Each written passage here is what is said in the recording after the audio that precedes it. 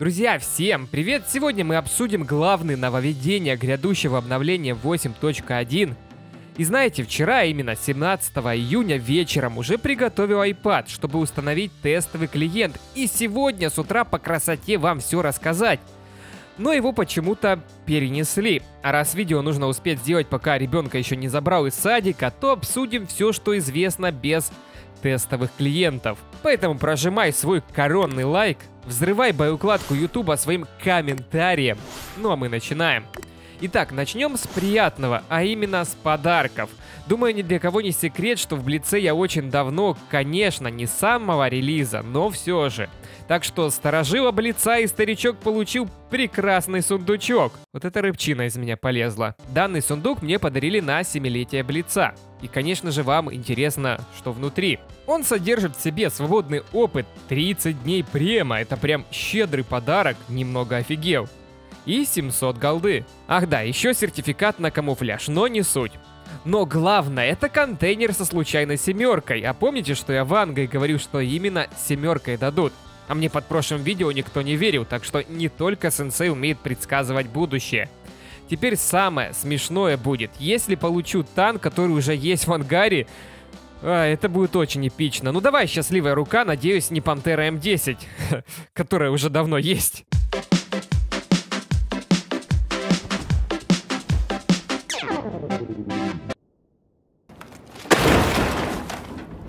Блин, так и знал, что выпадет танк, который давно уже есть. Честно, радовался бы даже Франкенштанку больше всего, ибо у меня его нет. Как раз для коллекции зашел бы. Но выпало то, что уже давно есть, и взамен получил 2500 голды. Как говорится, и на этом спасибо даренному коню в зубы не смотрят. А теперь о главном. Понятное дело, что после жирнейшей обновы 8.0 нас ждут лишь минорные патчи, которые больше всего будут нести балансные правки и все в этом ключе. Хоть как по мне 8.0 не обошлось без косяков, посмотрите прошлое видео у меня на канале и вы все поймете. Итак, начнем с того, что на седьмом уровне всех ждет серьезный ребаланс техники. Конкретно зацепило более 30 машин, и знаете, это действительно большой послужной список. Как уверяют разработчики, такие масштабные правки нацелены на то, чтобы на уровне и внутри классов были сопоставимы, по боевой эффективности лучше выполняли свою роль в сражении. Объясню человеческим языком. Слишком много премиум машин наводили, поэтому большая часть прокачиваемых танков превратилась в тыкву. И чтобы они нормально себя чувствовали в рандоме, здесь реально нужны апы, ну или нерфы. Правда, говорят, что правки не будут значительными, и большинство из них связаны с улучшением параметров танков но несколько апов и нерфов все же будет. Вот самые интересные на данный момент. 43-ки моему любимому Рудику увеличат запас прочности. Не знаю насчет према, это и так шикарная машина. Помню, как-то на стрим залетел Артур Гончаров и говорит, это было после хорошей серии побед, Победишь еще раз, закину тысячу. В итоге у меня была серия из порядка 20 побед, поверьте. Первый Артур умеет мотивировать на победу, второй на танке у меня почти 1800 средний урон, Лично в моих руках СТ-вода как прем-машинка знатная. Из минусов только слабо фармит. Также изменения коснулись и британского среднего танка, а именно Комета. Ему должны незначительно увеличить динамику, как по мне лучше комфорт стрельбы сделать ярче, а именно слегка увеличить точность. За пробой я вообще молчу. Черри улучшится бронирование и мощность двигателя. Ха, помните видос сенсея, где я еще на FCM50T гонял? Так вот, мне кажется, Юрец, пришло время делать переобзор. Не, ну а что, уже не актуально. Смотри, как его апают. А вот Ис и КВ-3 побудут в новом патче аутсайдерами и посидят на скамье запасных. Ведь им нерфят динамику, но улучшится комфорт стрельбы. Я не представляю, как вы собираетесь улучшать деструктор, разве что дать танку управляемые ракеты. А вот Черному Принцу снова-таки поднимут динамику, но при этом порежут комфорт стрельбы от орудия. Мне кажется, это какая-то бессмыслица, прям сумбур. Сколько раз апали этот танк? С его-то динамикой, да не трогайте уже ничего. Нет, очередные правки. А зачем? Для галочки, если в целом уже все, что можно было дать, танк получил. С принцем что-то вообще не согласен. Также французскому тяжу под названием AMX M445 подрежут бронепробитие, но при этом подымут бронирование. Здесь тоже не совсем понятно, получается у RL-44 тоже топовое орудие хуже пробой получит?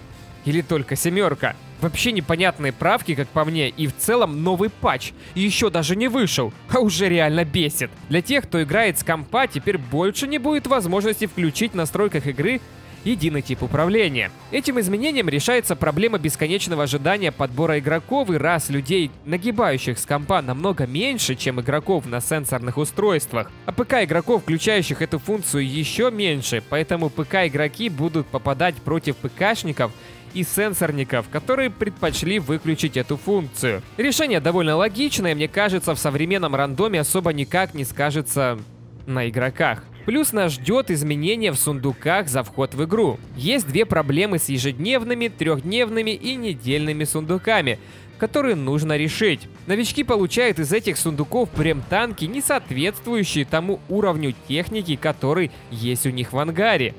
Это плохо и для самих новичков, так как они перескакивают уровни толком, не научившись играть. И для тех, кто играет с ними в боях, это прям печаль. Знаете, как бесит, когда видишь игроков со слабой статой, а у него уже лев в ангаре, и из танков лишь песок.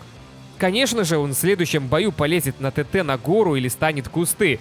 Такое себе удовольствие видеть такую картину. Также кредитов и бустеров кредитов в этих сундуках все игроки получают почти столько же, как и в сундуках за ПЗ. Это нечестно и плохо сказывается на экономике игры.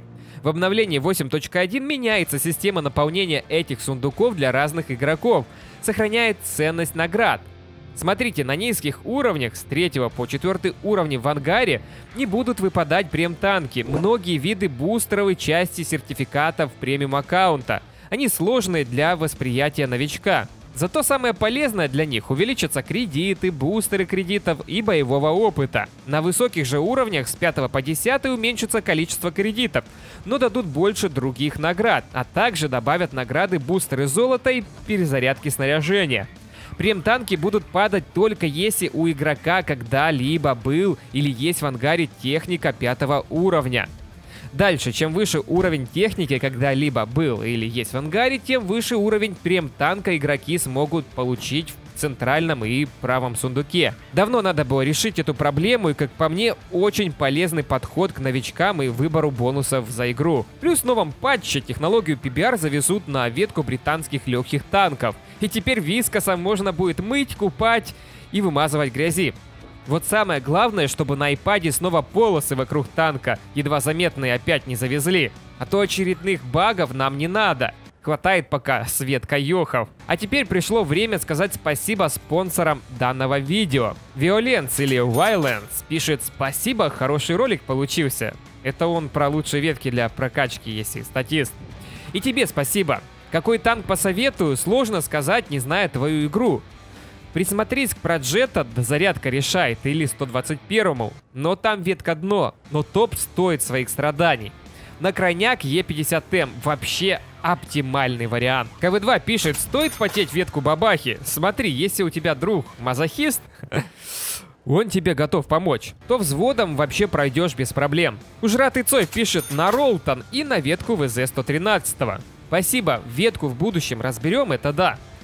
Хорошо, что петь не заставляешь, как в прошлый раз. На этом у меня все. Лайк попрошу, но заставлять ставить не буду. Где подписаться, думаю, сами знаете, поэтому уже сто пудов прожимаете колокольчик.